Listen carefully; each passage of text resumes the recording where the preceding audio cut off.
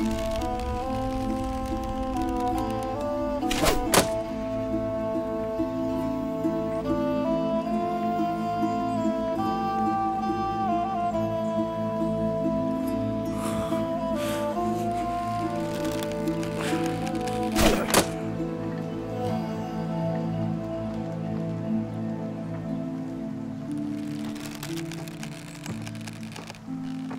अगर तुमने भी वही किया जैसा कि मैंने किया था तो फिर तुम्हें वो हासिल करने में देर हो जाएगी जो तुम चाहते हो।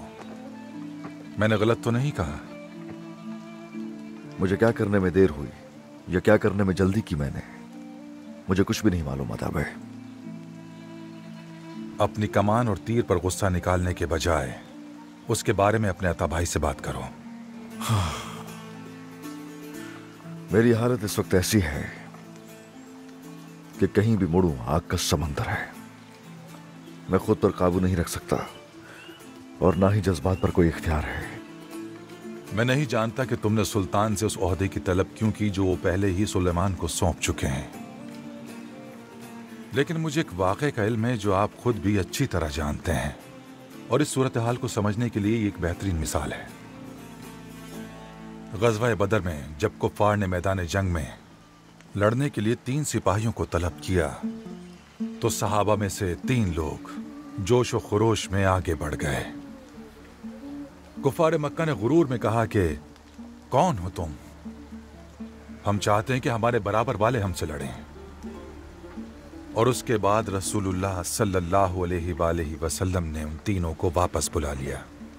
उस वक्त किसी ने यह नहीं कहा कि मुझे जाने दीजिए और इनका सामना करने दीजिए या रसूलुल्लाह। उन्होंने ऐसा क्यों किया अल्परसलान? क्योंकि उन्हें उसका हुक्म दिया गया था। उन सबको ये बात अच्छी तरह मालूम थी कि जब हुजूर सल्लल्लाहु अलैहि वसल्लम फरमाते हैं कि करो तो करो और अगर वो कहते हैं कि रुको तो रुक जाओ। उन्होंने कहा अय उबैदा आगे आओ।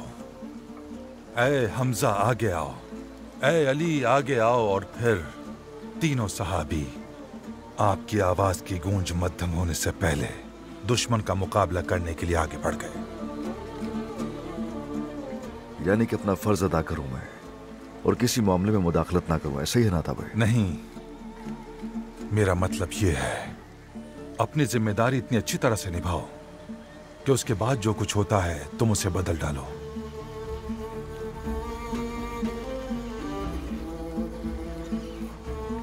तो फिर आए देर मत करें।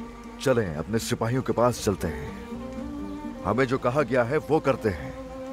बेशक एक कील घोड़े की नाल को, घोड़े की नाल घोड़े को, घोड़ा सिपाही को, और सिपाही पूरे लश्कर को कुवत देता है।